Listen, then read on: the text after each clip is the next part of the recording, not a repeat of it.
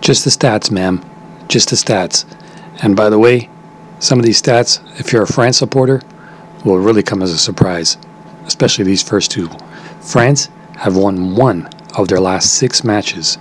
They've also seen under two and a half goals in their last five. On the other side, Australia have won four of their last five.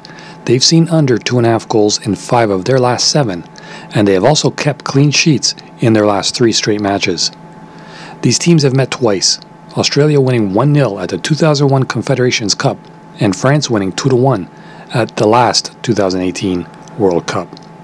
France went undefeated in the World Cup qualifiers, registering 5 wins and 3 draws to comfortably top Group D. Didier Deschamps' side were poor in the Nations League, where they narrowly avoided relegation. France only won one of their six matches, 2 0 against Austria.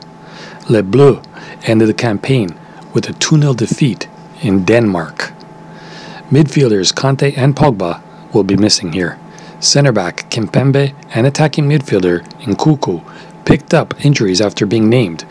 Disasi and Kolo Muani taking their place. Striker Karim Benzema was also ruled out after an injury suffered in training.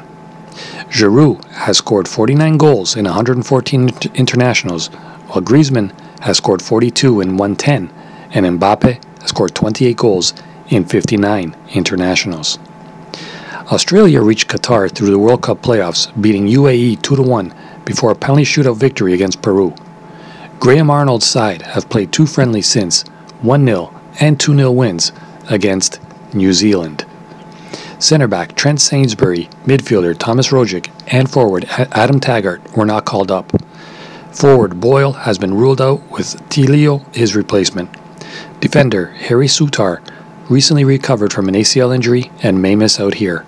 Jamie Maclaren has scored 8 goals in 26 internationals. France have won one of their last six matches, as I told you, in the Nations League, where they were costly to follow. Australia can keep this tight with under two and a half goals. I'm going to say is the best bet here. You got two plays. I'm going to go with under two and a half goals, and I'm also going to go with both teams to score no. Those are the two plays here. But I want to hear from you. What are you liking? What are you hating? What are you tailing? What are you fading? Let me know. Comments below. Whatever you do, get that cash. Good luck, gang. We'll see you on the flip side. This is Trending Rabbit.